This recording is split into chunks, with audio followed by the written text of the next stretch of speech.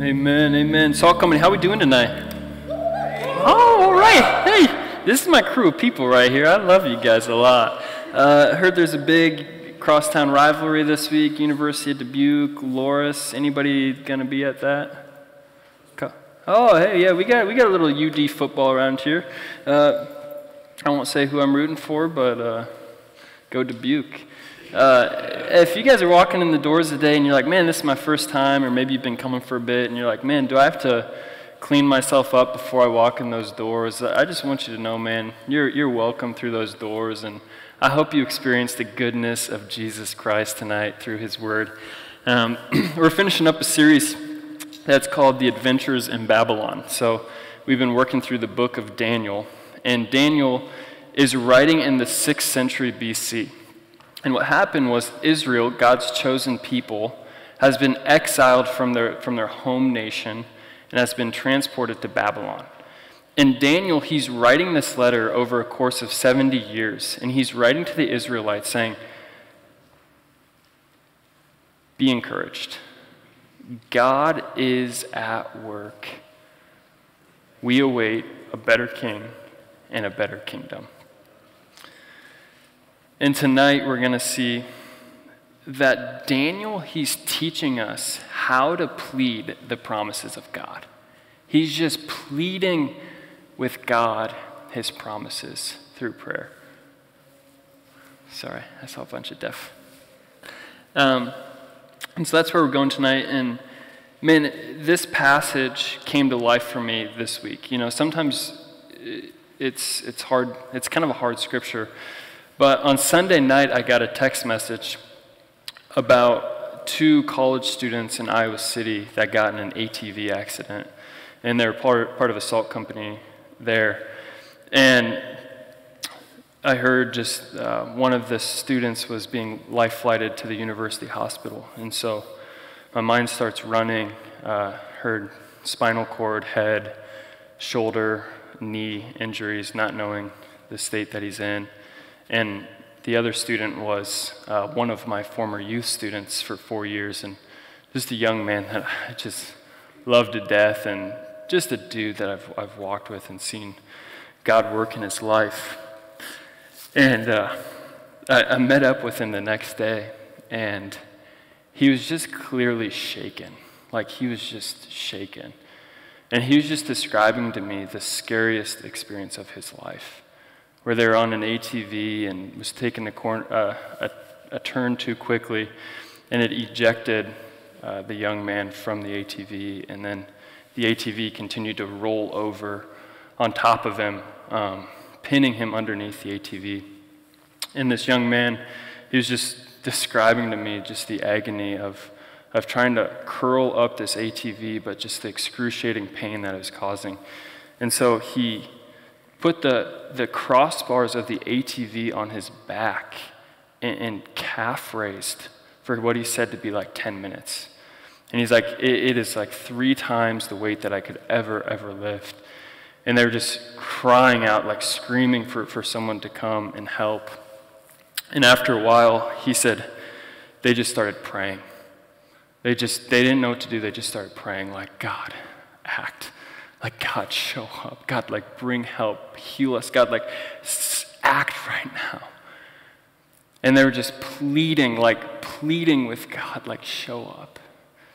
And, and the young man, he was telling me, he's like, after about 10 minutes, he was at the point where he was just about to pass out. Like, he, he couldn't hold this anymore. And around the corner comes three friends on a, on a little go kart and help get the ATV up get him stabilized. They put him in an ambulance, and then they end up life flighting him to the U. And while we were hanging out Monday afternoon, he got a phone call from this young man. And this young man was just like, hey, I'm going to be all right. Like, I'm going to make 100% recovery by this spring. And he's just like, be at peace. Be at peace. And, and my former youth student, he was just looking at me and he was like, God spared us. Like, there is no way of describing this, but like, God showed up. Like, we had no way of describing, of lifting this, that He's okay. And he just looked at me and he had tears in his eyes, and I had tears in my eyes. And he was just reveling in the mercy of God. Just God being so merciful. In Daniel tonight, we're going to see that he's pleading to God on the basis of mercy. He's like, God, show up. And I think so frequently, we don't actually believe in the power of prayer until our life depends on it. But what if this was a group of people who our lives depended on prayer daily?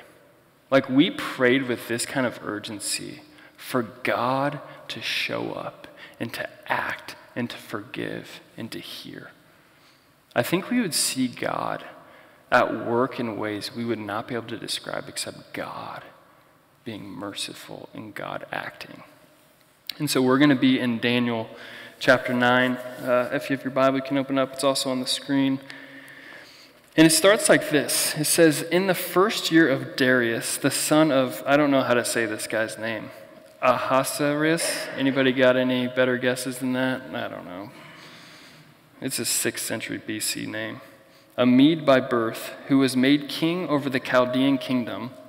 In the first year of his reign, I, Daniel, understood from the books according to the word of the Lord to the prophet Jeremiah that the number of years for the desolation of Jerusalem would be 70. And so here's what's going on Daniel has been in exile for, for what's coming up on seven decades. Right, this book isn't written in like seven months, this is over seven decades. And so I want, want to kind of illustrate this. What would it be like if you were living in a foreign nation since 1952. All right, 1952, and now you are returning to your home nation. Here's what's happened from 1952 until now. Well, we, we finished up World War II, um, and things that have came into existence since then uh, space travel, uh, that's a pretty big one. Uh, another one would be the microwave oven for all of your popcorn. Uh, the personal computer, they, they, you know, computers have came out. Email, uh, Apple, and, and not the apple to eat, but the apple to rule the world. And so Daniel and, and, the chosen people, the Israelites, they've been gone for, for 68 years now. And life has gone on. And, and I'm sure they've grown accustomed to life in exile. And, and you think about 68 years, probably many people have died, physically not returning to their homeland. And then a lot of people would have been born, and that's all they would have known is life in Babylon as exiles. And so we see that, that Daniel, he's bringing together Israel. And he's saying something like, prepare yourself. All right, remember the character of God, confess your disobedience, and seek God to act for his glory. And so he's going to scripture. He's, he's quoting Jeremiah 25, where the Lord, he says, For 70 years I'll bring desolation on Jerusalem. But then he's going to have mercy and he's going to restore his people. So he's coming, and, and scripture is his stimulus to pray.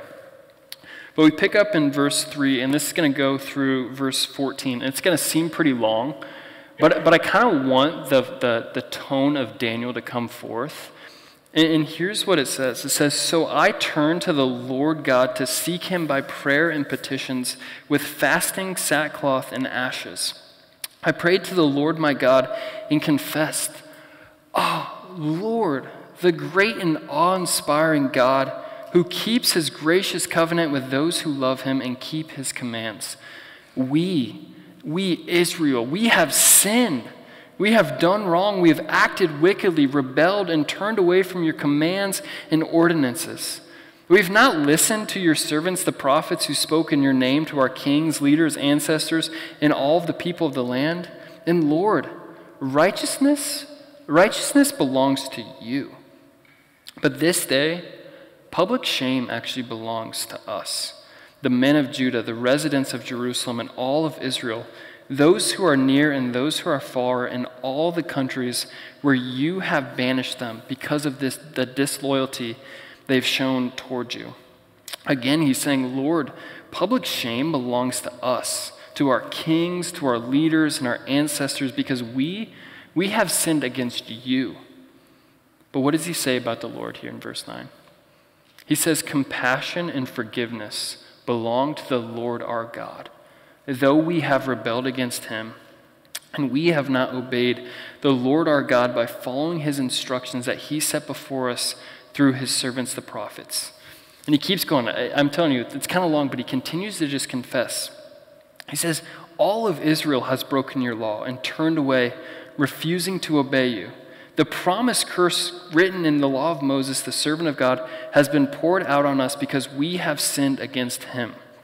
And he has carried out his words that he spoke against us and against our rulers by bringing on us a disaster that is so great that nothing like it has been done to Jerusalem has ever been done under all of heaven. And he keeps going, just as is written in the law of Moses, all this disaster has come on us. Yet, he's saying, we deserved this disaster by not obeying God's law. Yet, we did not turn from our iniquities and pay attention to your truth. So the Lord, in his steadfast character, kept a disaster in mind and brought it on us. For the Lord our God is righteous in all he has done, but we have not obeyed him.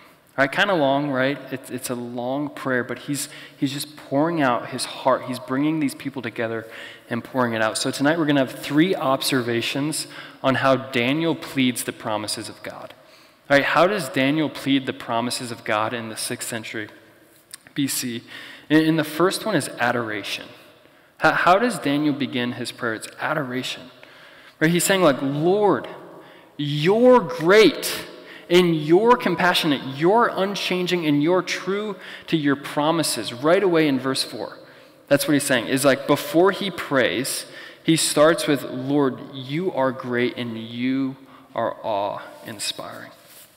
And so he confesses what's true about God. And, and why does he do this? Because he understands the character of God is not inconsistent.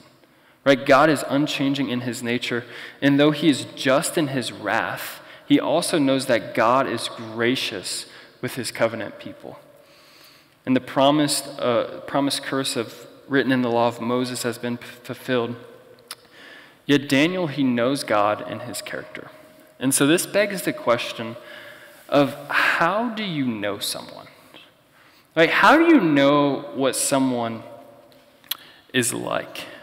If someone were to ask you, hey, what is Austin like?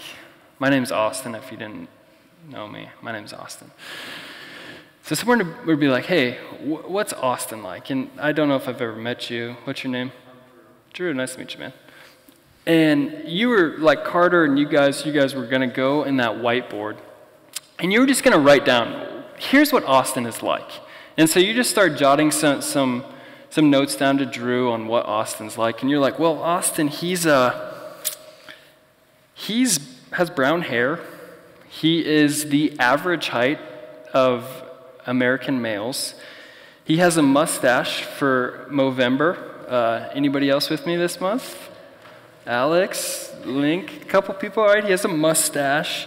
Uh, he's not too funny, you know, but a couple jokes land once in a while. But he, you know, overarching, he's not a very funny guy. He uh, he definitely outkicked his coverage when it came to marriage with Ellie. Uh, that one, he he definitely outdid himself. And he has a below average vocal range, and he likes to eat barbecue. Right? These would be descriptions of what Austin is like. But if you were to never have spent time with me, would you really know me? No. So, how do you really get to know someone? Right? One, you probably have to spend time with them. Two, you probably have to talk with them. Three, you got to listen with listen to them, you got to observe them. And so this begs the question, to know God, you must spend time with God. Right? To know God, you must spend time with God. And to spend time with God, you must make time for God. And so when someone asks you, What is God like? you're not going to a whiteboard and being like, Well, I know God from Sunday school. here's what's true about him. He did this in, in the book of Exodus. But you know God from a place of intimacy. We're like, let me tell you how God has actually been great and awe inspiring in my life. Let me actually tell you how God has been slow to anger with me when I deserved just quick anger. Let me tell you how God has actually been compassionate and, and gracious to me. How, how God has actually been a father to me, and I have been his child. How he has been a friend to me in trials. How he has been a rock and a refuge for me in unstable times. What is God like? We have to spend time with God. And we see this in Daniel. Daniel, he adores God. he's like, God, here's who you are. And he has spent time with God. And so I want to make this really practical, right? A, a really practical sermon where you're like, man, what, what do I take away? A great prayer rhythm tomorrow morning to start a prayer is just write three, three true things about God. Three truth claims about God. So this morning, what I did is I wrote these three, three things down. I said, God is good. All right, really low hanging fruit. God is good. And then I wrote, God is faithful. And then the third one I wrote, God is unchanging. And what I did is I, I just started praying from that place like, God, you are good. Lord, you are faithful to me when I am not faithful. Lord, you are unchanging. And what this does is it, it postures our hearts of saying, God, here's, who, here's what's true about you. And the second observation we see from here is confession. All right, the bulk of this is confession, where he's just saying, like, Lord, we've gone wrong. All right, we've gone wrong. We're sorry for the mess that we've made. And like I, I mentioned earlier, I, I'm married to my wife, Ellie. We've been married for a couple years now.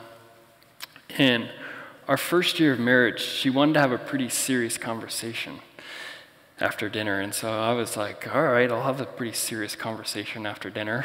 And uh, she sat me down on the couch and she opened up her laptop. And my dear wife put together a PowerPoint titled, Why We Should Get a Dog by Ellie Kloewer. And I was a sucker, and so turning to this, this winter is this our dog Franklin.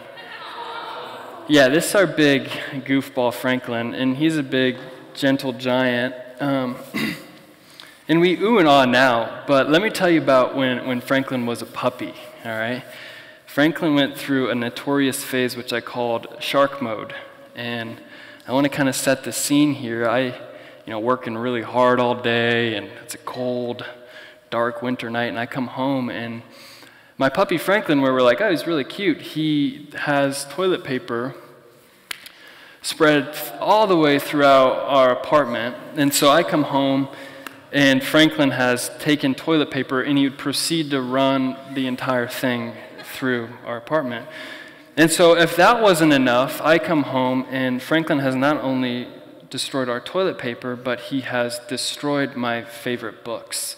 Uh, this is a special edition of C.S. Lewis's The Great Devo- Divorce, Herman Bavinck's The Wonderful Works of God. Um, and if that weren't enough, if toilet paper and books weren't enough, I, I, come home another night and Franklin has devoured a two foot diameter in our carpet, uh, literally down to the subfloor.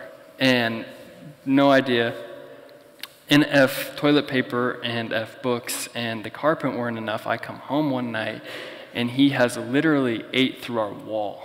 All right, he has ate through the drywall. And what was running through my head is why we should get a dog. Um, but now, imagine if I were to come home to Franklin and I were to come before him and be like, Franklin, who did this? In, in a little personified, like old man puppy voice, of, oh, not me. Like, wasn't me, it, it was the other guy. Right? What?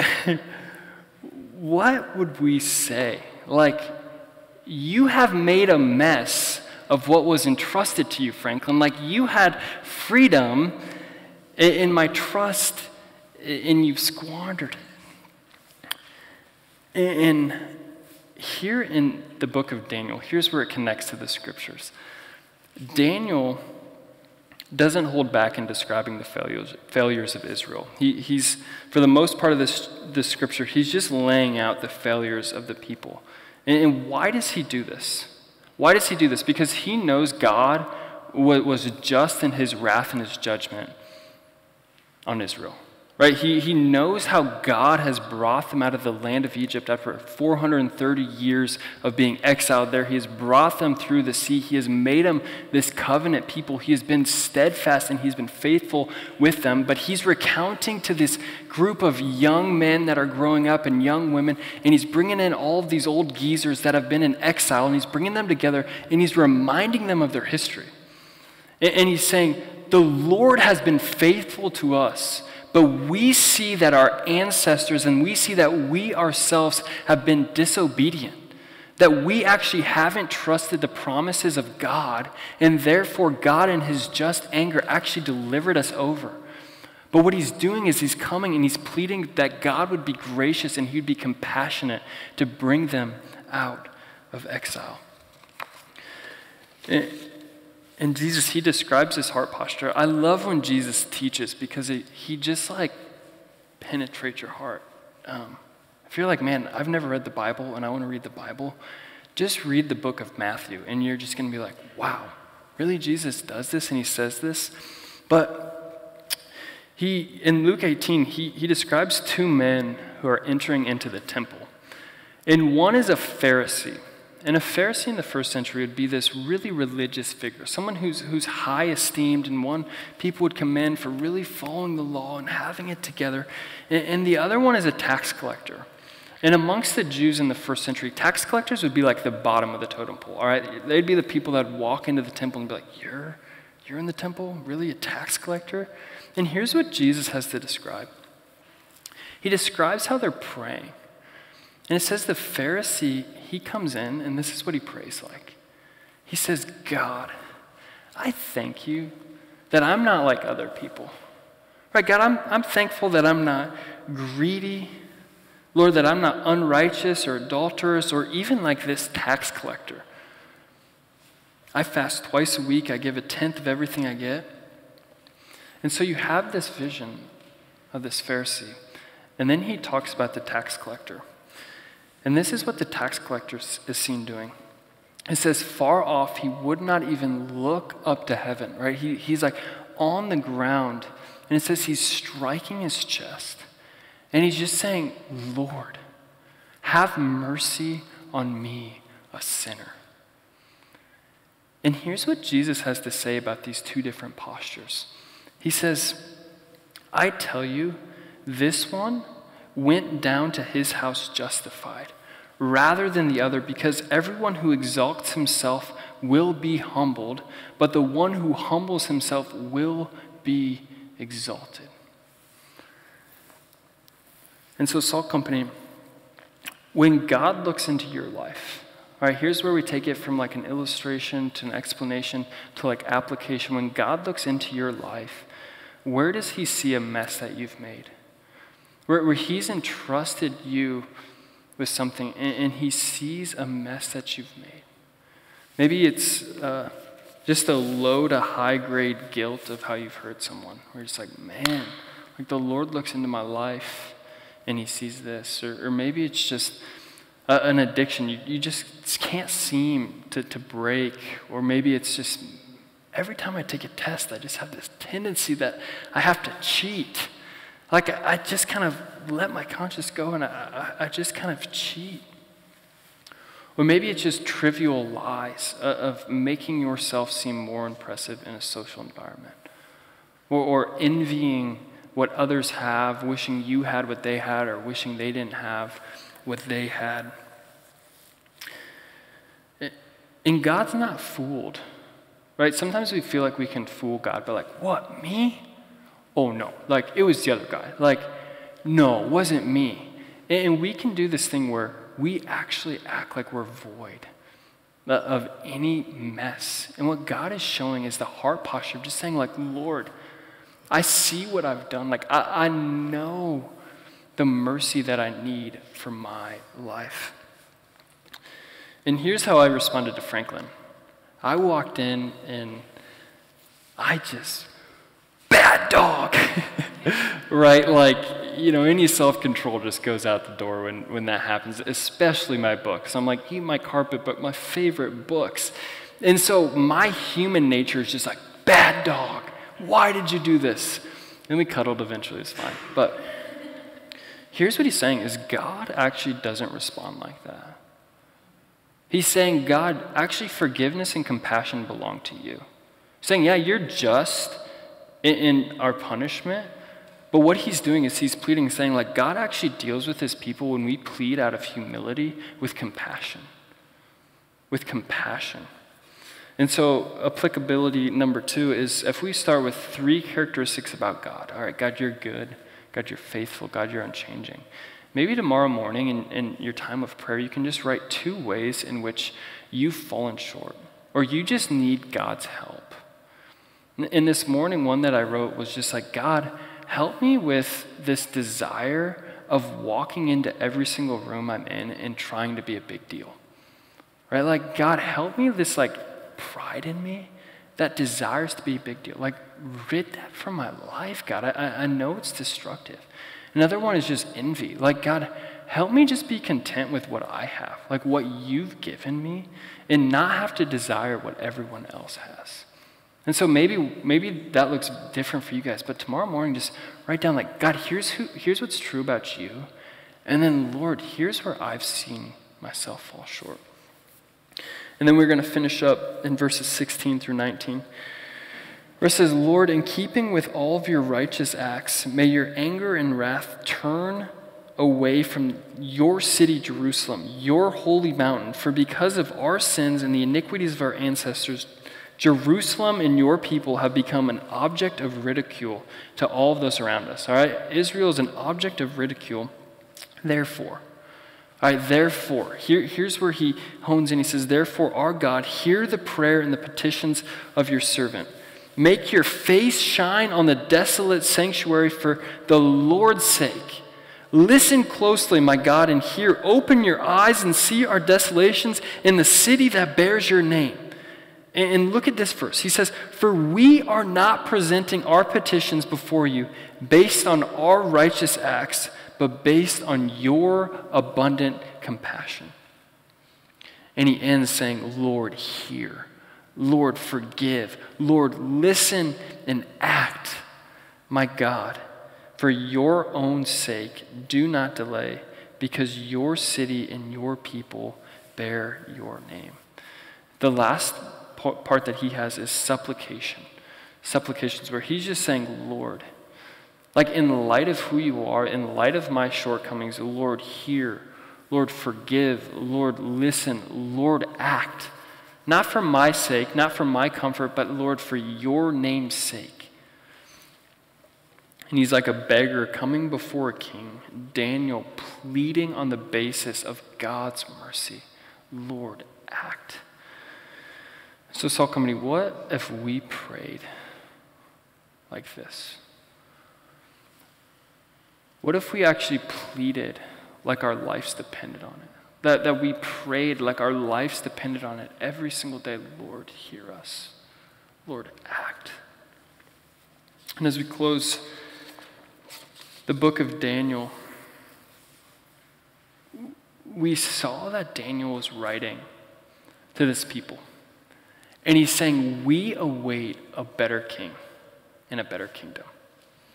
Or he's like, We live in exile and we wait for a better king and a better kingdom. And Christian, if you're in the room and you're Christian, here's the good news is we have seen our king come on earth.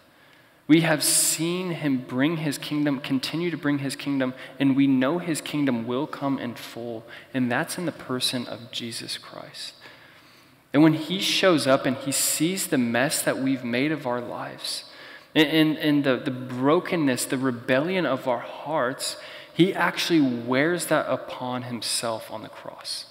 When he's saying, God, you are compassionate and gracious, what we actually see is God taking on human form to die on a cross, to, to wear the mess we've made, to come in our place.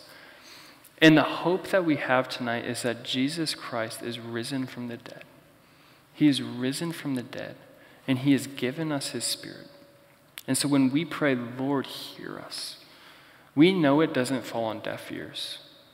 When we say, Lord, act, the Lord does act. And that might not look exactly what you're praying for, but the Lord always gives us what's best for us. And so maybe tonight we walk away with uh, an application tomorrow where it's, Lord, here's three ways that I adore you. Lord, here's two ways that I've fallen short. And each morning, just ask God to, to show up. And maybe it's one of those three Lord, act. Lord, I need you to show up in my life. Or maybe it's Lord, forgive. Lord, I just need you to forgive. And, and we know He will. Or Lord, just hear me. And if you're just going through hard times and just like, Lord, I don't even know what to pray. Lord, just hear me. May we be a people that pray like our lives depend on it every single morning. And we're going to see God, who's jealous for his name, show up here in Salt Company, show up in Dubuque, and across the nations. Will you guys pray with me? Lord, you are good. God, you are so, so good to us. And Lord, we boast in your faithfulness as we are not faithful, but Lord, you are always faithful to us. There's never been a day of our lives that you have not been faithfully pursuing us. And God, you are unchanging, and that's something we just rest in. Lord, we're, we're so we're so all over the place. We're so um, yeah, God, unstable. But we cling to you as our rock and our refuge. And a, as a body of people, we just say, Lord, we have fallen short. Lord, we need you. We have rebelled. Lord, we, we have put ourselves on the pedestal before you. And God, we ask you to come. Lord, would you meet us where we're at tonight? Lord, some people just bring in heavy hearts. Lord, I pray that you would hear their cries. Lord, that you would be nearer to them than the skin on their, their body. Lord, that you would hear them. And Lord, some people are just praying that you would forgive. They, they come in with low to high grade guilt of things that have happened. And, and they just carry it. And Lord, I pray that you would forgive them. Lord, that you would take the weight off of their shoulders, that they don't have to carry it anymore, but the yoke of Christ is easy and light. And God, we ask that you would act. Lord, that you would be jealous for your name amongst this people, amongst this church, amongst this city, amongst our campuses, amongst the, the state of Iowa and to the ends of the earth, Lord, that you would act and you would show up and you would bring your kingdom.